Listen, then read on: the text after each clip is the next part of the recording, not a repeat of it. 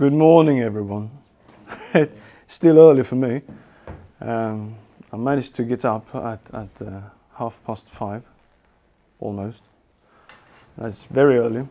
I'm still not awake. I won't be for another 45 minutes. But anyway. Um, okay, uh, I've been asked to talk a little about myself. My name is Roger. I live in Landskrona. I am 46 years old. Hard to believe, isn't it? Yeah. Um, well, uh, a small comfort is that Jürgen has the same age. Thank No you. way. Thank you for that.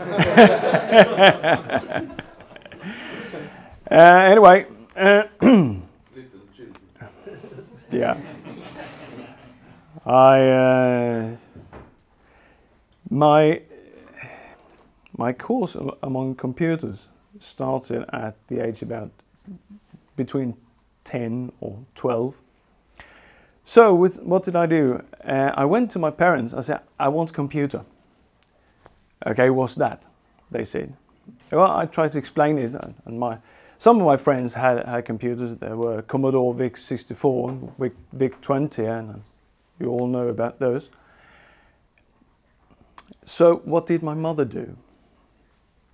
Uh, she wasn't very well educated, and, and she feared this in, in a way. So she went to the to the bookshelf, and she picked a rather large book, which was some kind of self-study in mathematics. She picked up the most advanced thing she could find in the book. That was like, I don't know, graphs or diagrams, and, and she pointed at it and she said, "When you know this, we can get you a computer." Well, thank you. that will take some time. Uh, anyway, an hour later, I got my first computer. That was a, a, a Spectravideo Express 16. Of course, no hard drive. I booted from a five and a quarter disc. Um, I could mimic the sounds it made when it booted. Um, yeah, that's where it started. At that time, it, there wasn't any games really for PCs. This was a, an XT 8088 processor at, at ravishing 4.57 megahertz. Um, so what did, what did I do? Because I was interested in electronics and all that. I bought some, some LEDs and I put it in, in the parallel port. And I started to, to disassemble uh, something. Uh, and and I, I made a, small program with running lights in the parallel port. No games, but from there on it, it continued. So most of my assignments has been around hardware and, and very low level stuff. I used to say I, I don't know Java. Um, I can read it and understand quite a lot because it's very similar to C++, which I have been given lessons at Malmö University for, yeah, oh gosh, it's 17 years ago. Um, well, uh, my interests are obviously sailing. We have a sailing boat, um, which is nine and a half meters long and 3.20 meters wide. This is the harbor of Rungsted in Denmark at night. I've taken the picture myself. so this is my desktop. When I try to escape in my mind, I put up that picture. So that's nice. Um, other interest is music, like Jonathan. Uh, I sing in a choir. I've been singing in, in a choir since I was seven. So that's 40 years, almost. Um, I also play the electric organ as my main instrument. I've been cheating um, with other things like trumpet, the harmonica, and, and yeah, stuff like that. Um, yeah.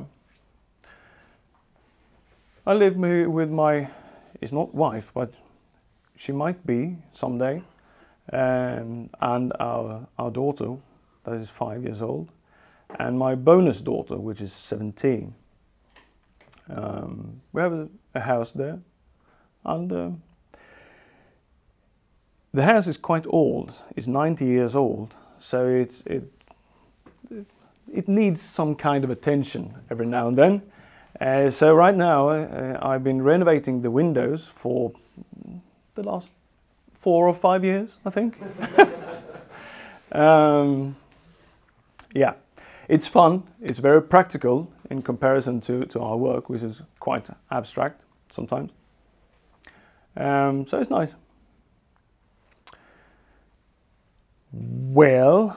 Is your boat also in Landskrona? Is there a harbor? Yes, there is a harbour in Landskrona. There's actually three harbours in Landskrona for, for small boats. So. And our harbour is called Borstahusen. It's on the north side. Yeah. Education wise, I'm actually self taught. Uh, I'm, like I said, I, I began in, early, early ages uh, and uh, tried to teach myself. I was interested. I was interested in mathematics. Um, so it, it, all came to pieces when when I, I came to the the upper secondary school. Then it all it all made sense in a way. So uh, I managed to learn quite a few languages. Like uh, I started out with small assembly uh, and went on to, to basic and, and Pascal, Modula-2, uh, C++, C, Python, yeah. And it also depends on what you call a language. In a while we were talking about awk, that can also be considered a language. Uh, I've seen examples of people creating the Pong game in awk, and that's that's just absurd. Anyway. What's Orc? Orc. Yeah, what is it? I've never heard of it. No, we'll get into it. Oh, Um, actually, we can get into it right now. I'll just start up the. Um, can you just tell us where you are working today at what assignment? No. Course. Uh, my current assignment is at Fingerprint Cards in the Western Harbour here in Malmö. Uh, working very closely to the uh, the hardware. Um, I've been at quite a few places. Um, I've been in, in the, the, printing business, printing lottery tickets. Uh, I've been working for Bofors military equipment. We made sea mines. Uh, there we, we had a really embedded system, a small microprocessor controlling the entire minefield. Uh, the RAM memory was 902 bytes. That's, that's a challenge, I can say. Um, so I, after that, I, I became a consultant and I began at Sigma. Uh, it changed name a couple of times. It uh, went on to Teleca and Teleca uh, Excellence and software, but yeah. And after that, I came to Purple Scout. So, in just a couple of months, I've been here 10 years. Um, and I had lots, uh, lots of assignments during the time as well. Um, of course, I've been where everybody else has been. I also been to Axis, and I've been to Haldex, I've been to uh, Anoto. Yeah. Yeah, of course. Now, I will talk about awk. I thought just orc, like as in Lord of the Rings orcs. Yeah. That's why I didn't get it. Yeah.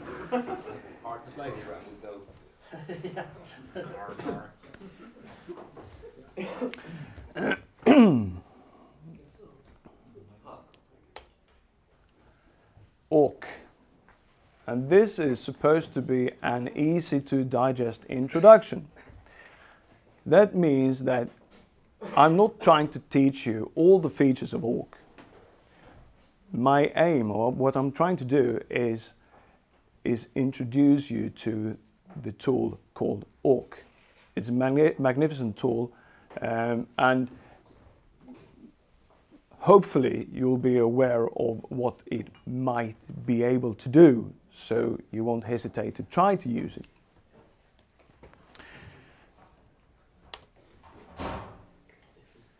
Now, Awk is almost as old as I am.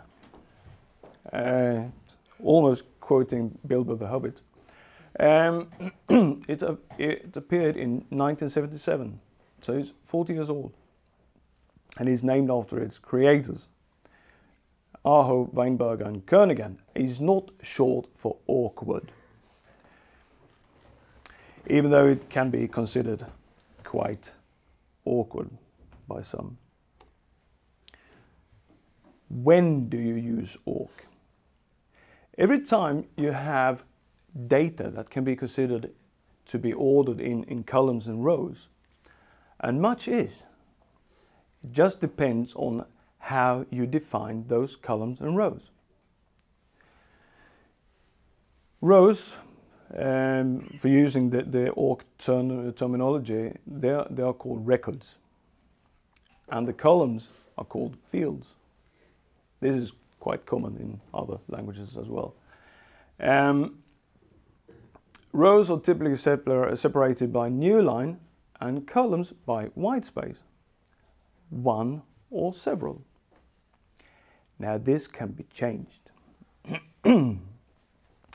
because those delimiters and separators they can be as aggressive as regular expressions. Imagine that. So you can define exactly how you pass your data. Just um, depends on your power of your imagination. How to invoke awk? Well, command line. After all, I am a command line freak um, and very much in, in Linux. Um, in in uh, my current assignment, I, I uh, one of the tasks is to uh, to write drivers for Linux, and I always work at command line interface. Uh, my main editor of choice is Vim. So yeah, I'm. It's not very healthy, I, I can imagine, but anyway. Well, how to invoke awk from command line? You can have an input, the, the data to be passed as an input file. Or it can be piped on standard in.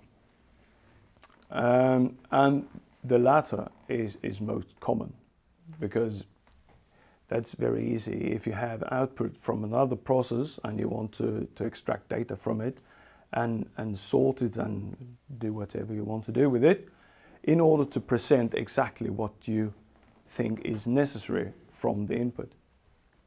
So the latter is more common in my opinion.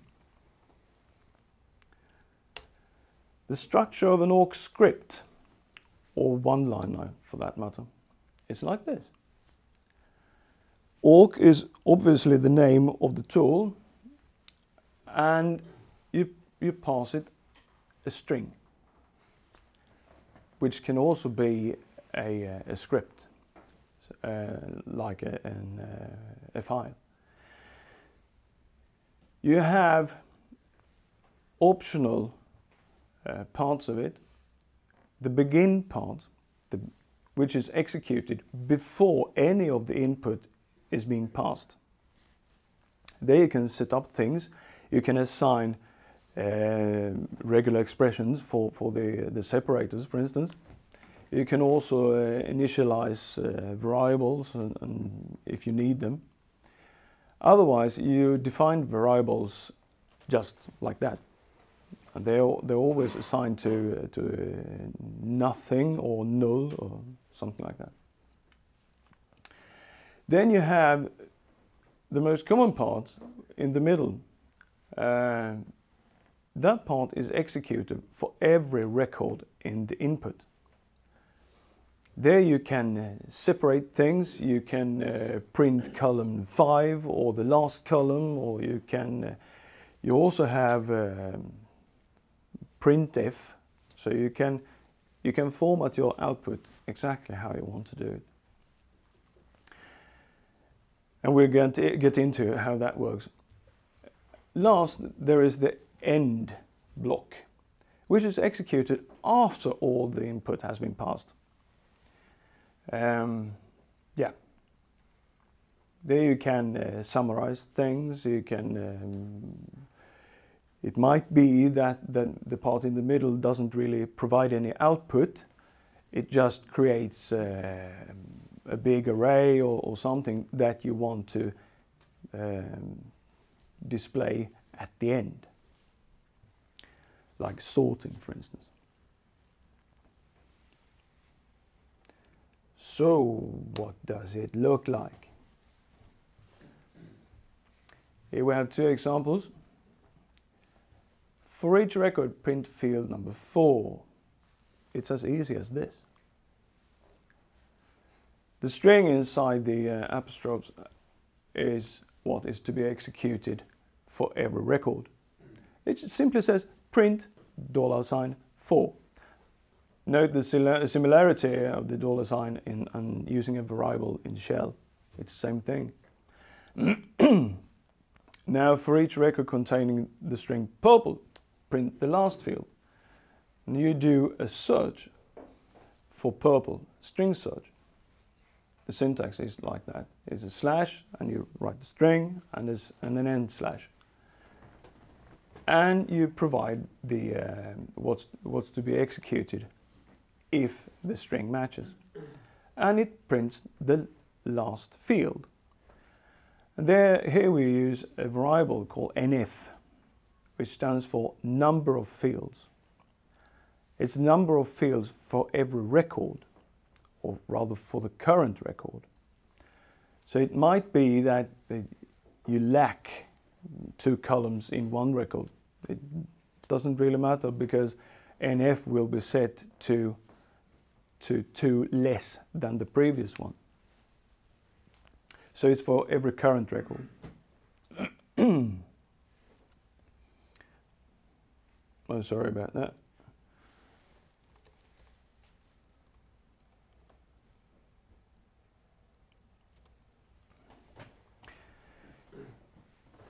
Here we have an example file. It's rather corny, but I think it will, uh, will uh, show you uh, the principle of it.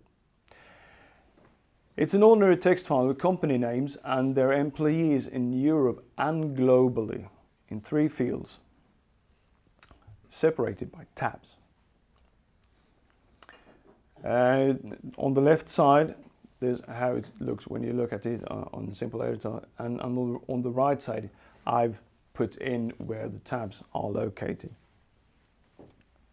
So if we write, write a small awk one-liner that says print column 1, it generates the following result. Why?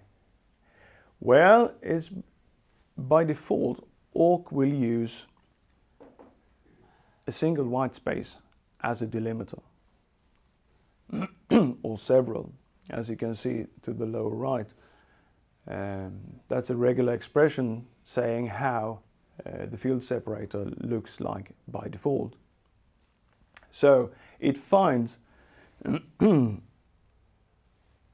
it finds uh, the white spaces in the first field and interprets that as a field separator. That was not our intention. How do we do it right? Well, we can tell awk that the field separator is a tab sign by using the switch F, large F, capital. now it works. Now it provides the expected output, even though there are white spaces inside uh, the first column or field. The F switch assigns the internal field separator called FS, it's a variable name, like comparable to NF, to the expression uh, following the switch. You can also, of course, uh, assign uh, strings and, and uh, regular expressions to the internal fs variable, just with, with an equal sign. Um, most likely in the begin block, but you can also change it on the fly.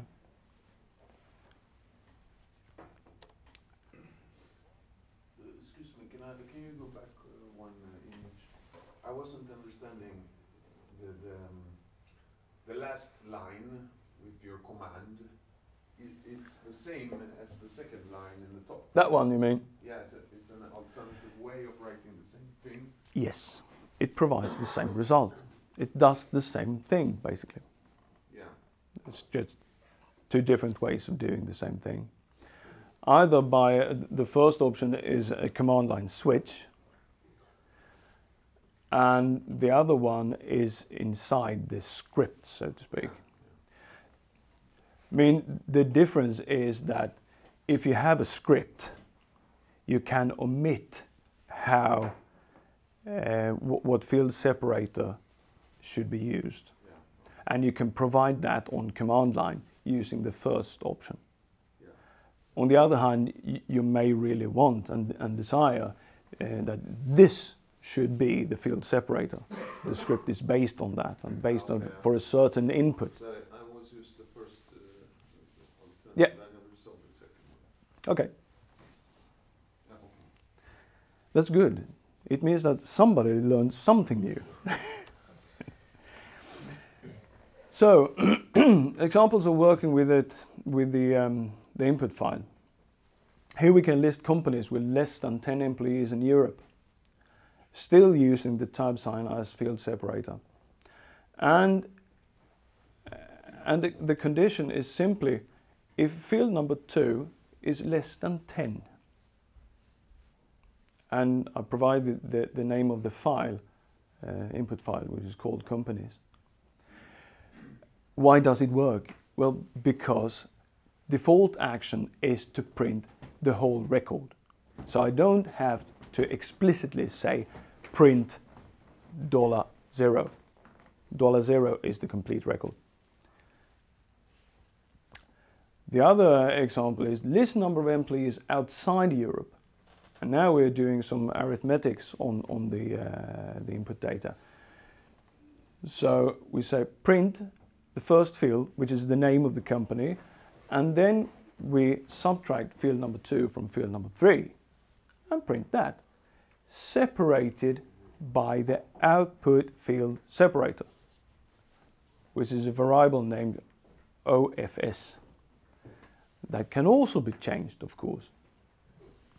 So you can set it to, to uh, the OFS could be a tab sign as well.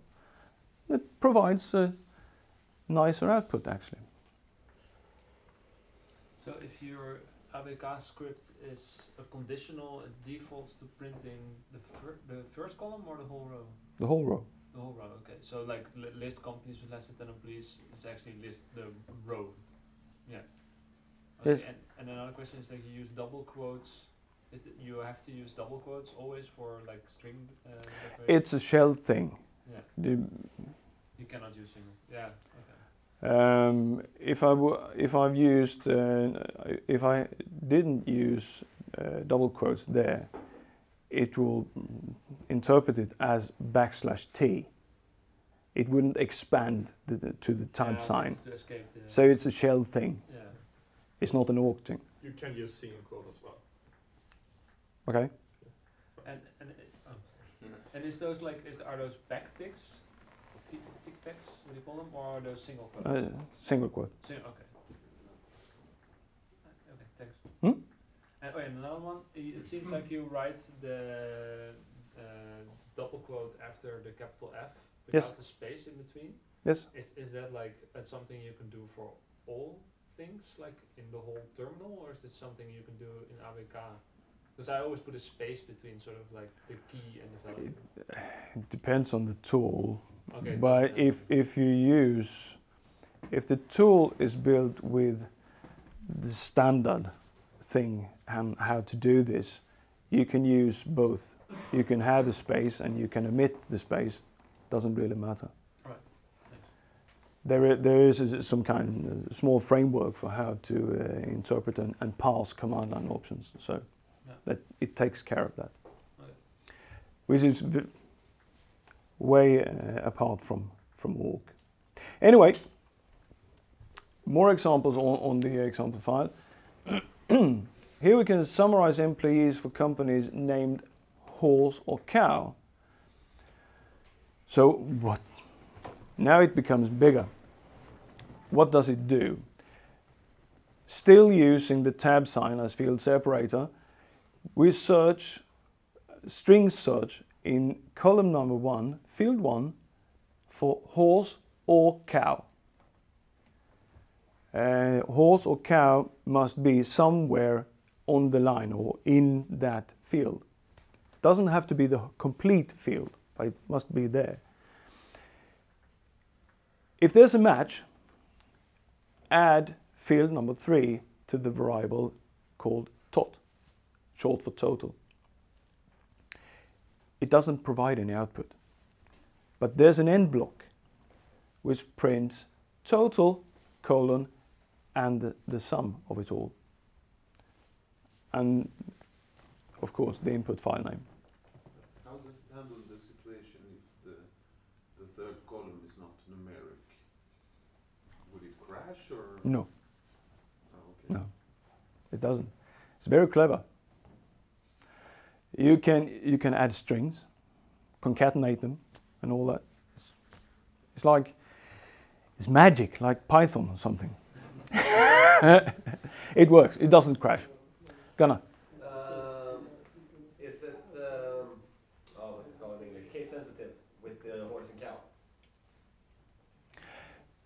For example, I've accidentally written horse with a small h. as I've written it here, it is case sensitive. Okay, cool. The, it can be case insensitive. They, I won't get into that. But And uh, follow up on that, if I were to put a uh, um, space between uh, the, the opening parenthesis and the h, would it interpret that as space, space horse? yes, it's a space horse. So, yeah, so Yes, those are the modifying properties that, 16 uh, legs actually. Yes. It will take the space into account. Yes. So does that mean it has its own uh, sort of dialect of regex? No, it's POSIX compatible. Okay. Or would you have to denote the regex in like? Okay, never mind. Continue. Uh, yeah, and the other example is is how you you, uh, you set a condition on which records to print, you know, when to start and when to stop. And, and you can write any condition. In this case, I have I start the, the output when field number one uh, contains the word cat. And I stop when field number one contains the word white. And print the whole record.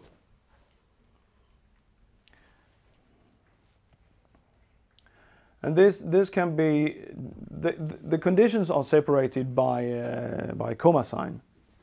And that could be anything that evaluates to true or false. So you can put, you can put, if I use my mouse, you can put, uh, now in here, here on the left side of the comma sign, you can put one. Then it will start from the beginning. Or, or on, on the right side of the comma sign, you can set zero then it never stops. You can use the uh, number of records variable and just count rows. The, the number of records variable is comparable to number of fields, so it's NF and NR. So how do you denote the difference between row one and column one? So is it the presence of a dollar sign in front of it? So dollar one is column one. Yes. And how do you denote row one? Then I would write uh, Eh, dollar nr equals one. Okay. For nr contains the number of records passed up to this point. Yeah. Okay. Yeah. Programming in awk. well, you have all the, the, the keywords you're used to. If else, while, for, switch, break, continue next. We have a C-style printf. We have associative arrays, even called maps or got many names. File operations, you can open files and, and close, read and write from inside the awk script besides the input data itself, and much more. Just like Jonathan said, just Google it. So, as a programmer, you should feel right at home. Some real world examples. What process uses the local port 10777? We, uh, we provide the output of netstat and the switches there means that it will, will write all the TCP and UDP ports um, and even, even listening ports and provide it with a list. We pass that list with this awk script and it simply says if field number 4 contains colon 10777 end of word it will print the whole record so that's very easy. Um, let me show you. Um, I, could see that in, in, in the eyes of some of you that that was very, very strange. Can you increase the size of I will. Oh. Sorry.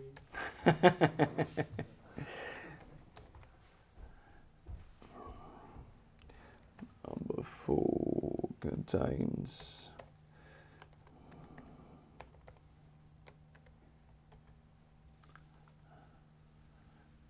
That should be it. What did I do now? Uh,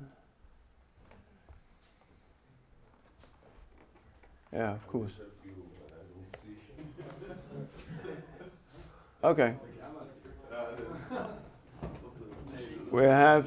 Um, okay. I forgot to. Um, actually, actually, it's Skype that uses that port, but I forgot to start it, so that's why it didn't provide any output. Now, there it is. If I didn't use the um, the uh, the awk part, it would provide this output, which can be quite tedious to to uh, sort out manually. So again, and I will. Hopefully, this works on.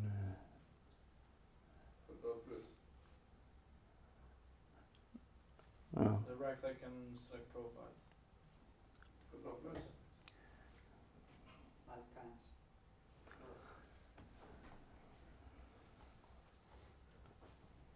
I lo- I've lost the mouse. It's there, on top right.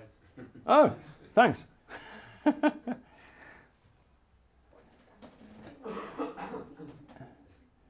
now appearance. Well, move it up like. Can we have twenty? Oh, oh, it's terrible. Anyway, it, you should be able to see that even at the back of of. Uh, so, there it is.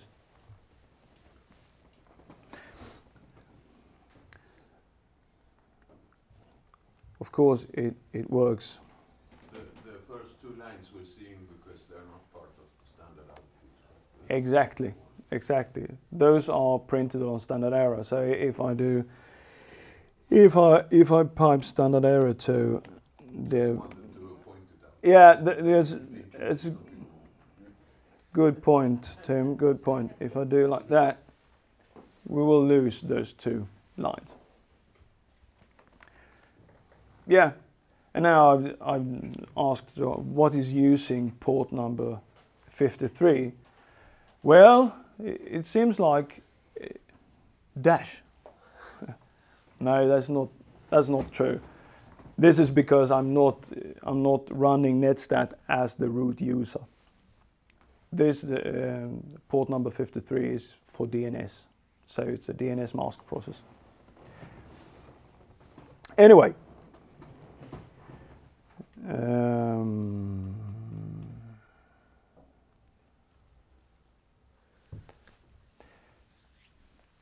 next example is list modified files in a Git repo, excluding for instance, linker script and MK files. Uh, this, I realize now that it can be hard to read. Anyway, it's, a, i- it's an ordinary git status minus uno for not listing uh, untracked files. We provide it with an awk script that search for the word modified in the first column. And when it finds that word, it starts to process the input and it stops when it finds the first blank line. And if field number two does not contain .ld or mk, it prints field number two, which is the file name. Quite easy to, to, to pipe to xargs and git add, for instance, so you can stage your modified files, but just a subset of them. The last example on that slide is truncating the output from any process to the screen width. Here we use the printf and the type specified the, the uh, percentage sign dot and then I use the shell variable. You see there's there's a single quote sign there so I'm, I'm this is not part of the uh, the string. I use the shell variable columns and I continue with the awk script string and print a new line and the whole record. It means that the lines from the output I, I pipe through awk in this case, it will not wrap at line uh, on the right side of the screen or the terminal window. This can be a nice thing, at least I think so. Some logs, or if, if I use tail and, and follow the log, it might wrap on the other. Then it is very hard to read, especially if you're looking for something. Yes? So the oh maybe you should want to Uh, sorry about that. so like the second one. Yes. Uh, so is the is it basically the syntax is, is that you define um, zero or two up to two conditionals, indicating from where to where Yes. the rows. Yes. It's your row filter basically. It's like a, a boolean on each side of the comma sign. Yeah, exactly. But you can also provide one, and then it sort of matches all, all the rows that matches that one. And if you provide two, it matches until the second one, from the first one until. No, I have to provide a condition. Yeah, that exactly. evaluates to Yeah. true or false. If, if I want to work with rows, I would say if dollar sign nr equals 1, for instance, Uh-huh. I put that on the left side of the comma sign. Yeah.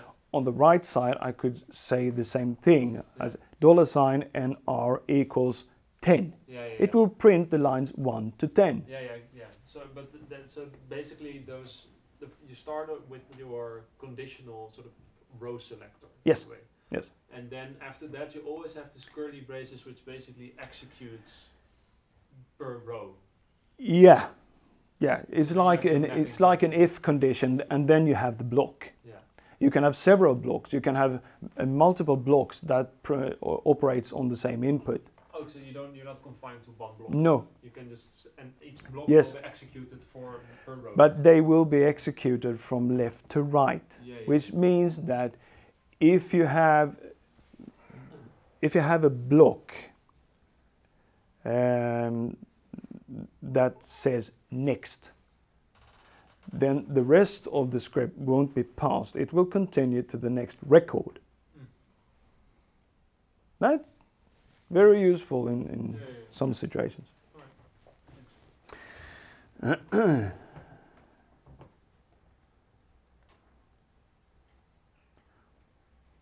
So this is actually my last slide. I will provide you with tip of the day. Unique output. Sometimes you have logs or, or similar things that provides the same thing over and over again. You, you can have thousands of prints that prints the same thing. And, and the output will become flooded with things. That, so it's very hard to find what you're looking for. It might even be that you, you don't know what you're looking for. So I found myself in a situation where I want to only print a line once, even if it reoccurs. We have the tool called unique. Well, it's rather, rather insufficient because unique, it requires the input data to be sorted the matching lines must be adjacent. Otherwise, it will print out the whole input. Now, we can use awk for this. The script inside, what does it do? It, it's simply a condition that says if this line has not been seen before, print it. Seen is a variable, is an associative array. The key is the complete row with text. And it contains an integer that is increased every time the, that particular row is encountered in the input data. So, when it's zero, the line gets printed. After that line is printed, the integer, the corresponding integer in the map is not zero anymore. So the next time it won't be printed. Again, the default action is to print the whole record. Of course, you don't have to use the complete row. You can use a field or a number of fields. But you can build it up as you would like. Quite neat. Yeah. End of lesson. Thank you.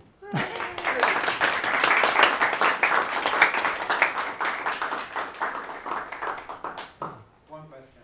Sure. Does it handle Windows line endings? It depends on your regular expressions. You need to add, Now, uh, actually, I don't know. I suppose it does. Not even if you install Cygwin on Windows. Cygwin works uh, works fine. There's an awk in in Cygwin. Oh, speaking of that, I, I forgot to say. I'm sorry. Um, awk comes in different flavors.